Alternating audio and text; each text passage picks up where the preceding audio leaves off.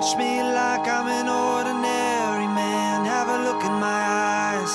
Underneath my skin, there is a violence. It's got a gun in its hands. Ready to make,